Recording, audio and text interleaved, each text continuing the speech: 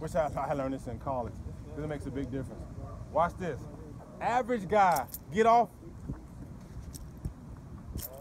Average guy, so this is first, second, third, right? The average guy get off, Yeah. right? Down said, Hut, where they move at?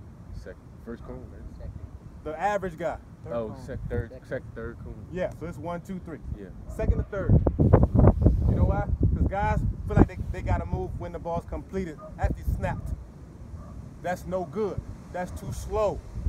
Guys that, that make plays, TFLs, sometimes they don't do much. But you know what they do? When they move? Man, ball. Right there. Oh, that's quick. You understand that? Yes. This is average. That is slow. If you can move right here, you are quick. I'm not talking about how fast you do your shuttle, how fast you run the 40.